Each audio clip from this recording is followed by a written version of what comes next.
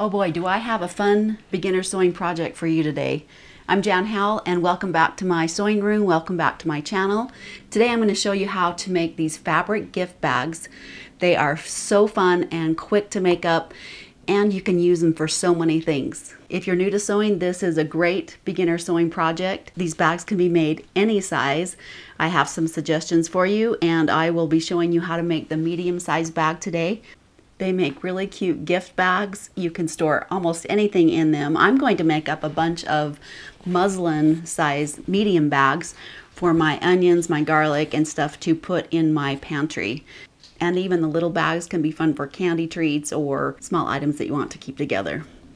Look how nice they cinch up and stay closed. Be sure to watch the whole video because as always, I'm going to be showing you several tips and tricks that will come in handy for other sewing projects. Let's not waste any more time and get right into the project.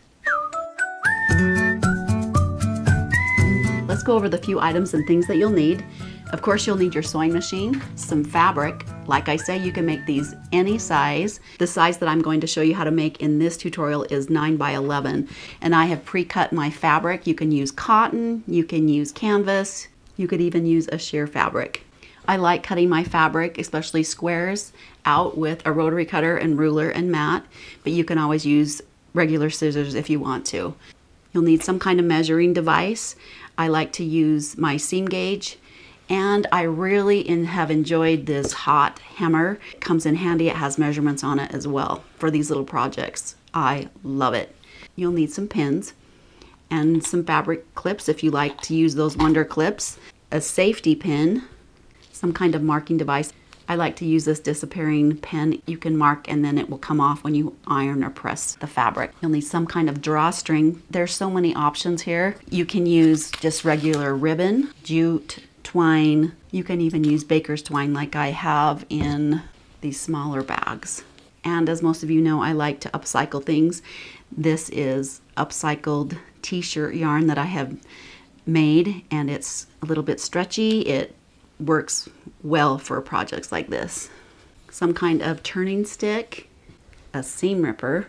Not that you're going to make a mistake, but there is a little section in this tutorial where you will be using a seam ripper. If you want to embellish the bag, you can use Wonder Under and iron on some kind of shape or name or something like that. And if you wanted to add a little tag or label, you can do that in your seam. And I have a tutorial showing you how to make these labels easy, fun project to do.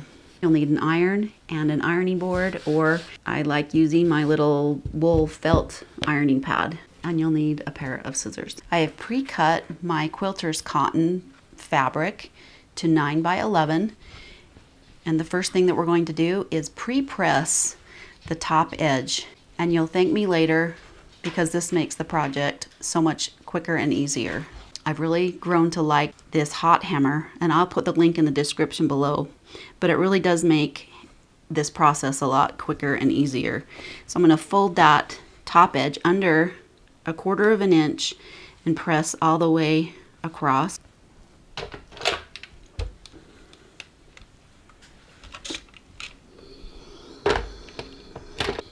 Then I'm going to fold it down another inch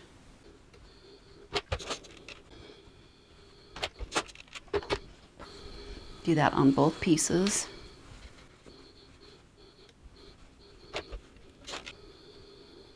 Unfold and place the right sides together.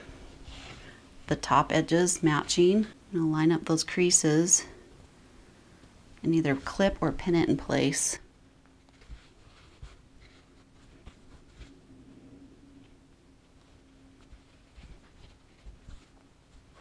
and you'll start at that top edge and sew all the way down across the bottom and up the other side, back stitching at the beginning and end of the seam. I'm using a straight stitch, a 3 8 inch seam allowance. The length of the stitch is two and a half.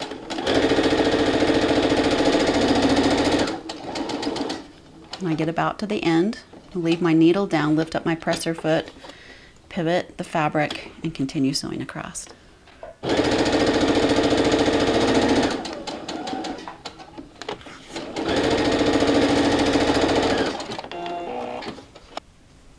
Take my pen. You can even use a pencil if you want. or you, you could even mark it just with a pin, but I like to use this erasable pen. I'm going to measure down two and a half inches and just mark that on both sides. Now to finish off the seam so it doesn't fray, I'm going to sew a zigzag stitch along the edge there. You could also just simply cut the edges with pinking shears. But I'm going to show you how to use that zigzag stitch in case you don't have a pair of these pinking shears, which helps keep the fabric from fraying. So I'm going to start at that two and a half inch point and sew down along the edge using a zigzag stitch, the width at four and the length at 2.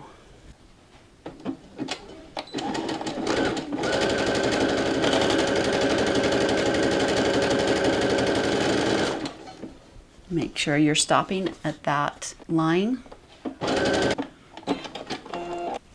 Open up the bag so that you can finger press that top opening that we didn't finish the seam off you can use an iron if you want, but I find a finger, a good finger press is sufficient. Just press down really hard and slide your finger down and that will press it open. To reinforce the area where we're going to have that opening for the drawstring,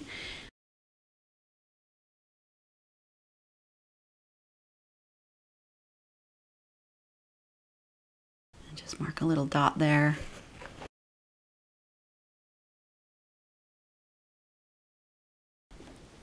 I'm going to stitch just like an eighth of an inch over from that center seam. You don't need to back stitch.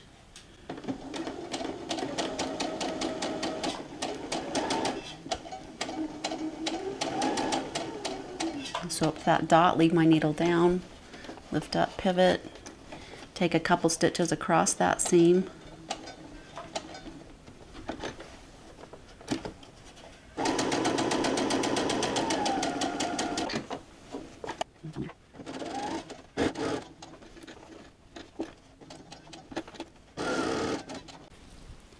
this is where that pre-pressing comes in handy. We're going to fold that quarter down again and then fold it the inch and pin it in place.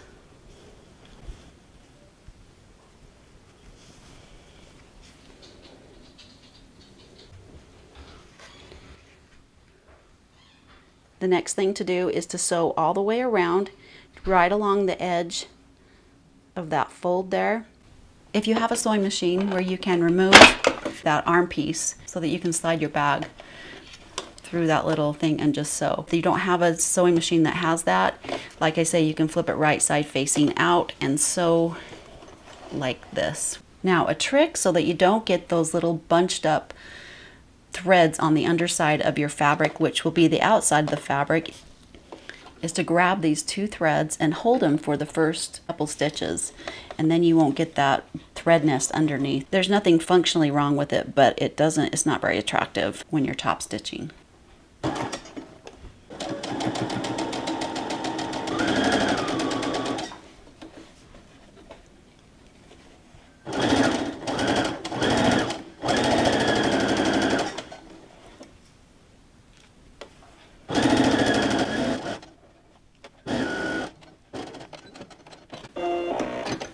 Clip your threads. Now, go ahead and flip it right side facing out. Take your turning stick and poke out those corners.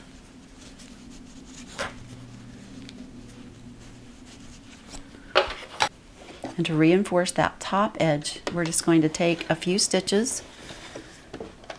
Again, holding your thread, so we don't want that thread bunching up stitching about an eighth of an inch from the top.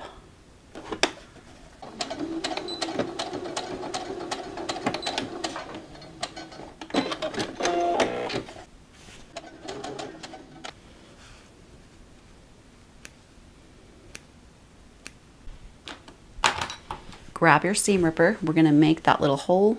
We're just going to pull it apart a little bit so that we can see those stitches and just grab one of them Make sure you're not cutting the fabric. And see that how that seam opens up. And don't worry, it's not going to, since we've reinforced those ends, they're not going to come undone further than that point. So it should pull apart pretty easy. See that? Then you can pull those threads out and clip them. I'll give the edges a good pressing. Give the edges a good steam. That helps make it easier to roll those edges out. Now I didn't add that tag in this bag, but if you want to learn how to add tags to your projects, I have a tutorial and I'll put the link in the description below for that. Now we're going to measure our twine, our ribbon, or whatever we're using. So depending on how big your bag is, this 9 by 11 bag, I'm going to cut two strips of 25 inches. But if you make some random size bag, all you need to do is hang the, of the twine off about two inches and then measure double plus another couple inches and that will give you the cut. So I'm getting about 20, yeah, 24, 25 inches. Now if you have twine like this is that is starting to fray, I'm going to make a knot at the end so that I can attach my safety pin to it. Now if you're using just regular ribbon, you probably wouldn't have to tie that knot right now, but otherwise it's just going to fray. And insert it through that hole that we made and thread it all the way so it comes back out the same hole.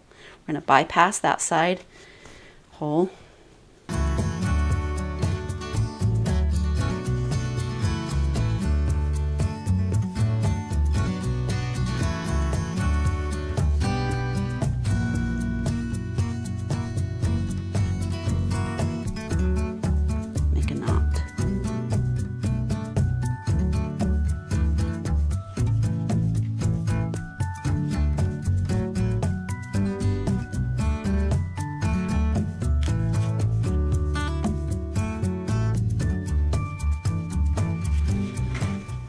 ta-da, there you have it.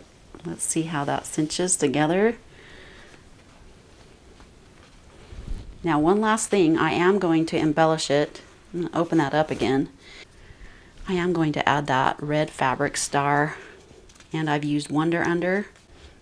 And using that Wonder Under is really simple and it's so fun. You can do so many projects with it. And if you're interested in learning how to do that applique, that Wonder Under applique, put in the comments below that you're interested in that and some more tips on this stuff. And you want to use a dry iron, no steam. Oh my goodness, that is so cute. Just think of the fun gift items you could put in there and deliver for the holidays. So many fun color combinations or even using simple muslin make these bags so adorable. Now wasn't that simple? I hope you enjoyed that tutorial. If you haven't subscribed yet to my channel, make sure you do that. Click on the bell so you can be notified when I put new projects up. There's some more fun things coming. Some fun things that you can put inside these bags. So stay tuned for that. Make sure you go through my playlist and see if there's anything else you're interested in making or some great tips on sewing, home DIY projects, and other fun stuff. Check out my patterns on my website, youmakeitsimple.com. There are some fun, simple patterns and projects on there. If you have any questions or comments, you can put those in the comments section below. Have a wonderful day, have fun sewing, and we'll see you next time.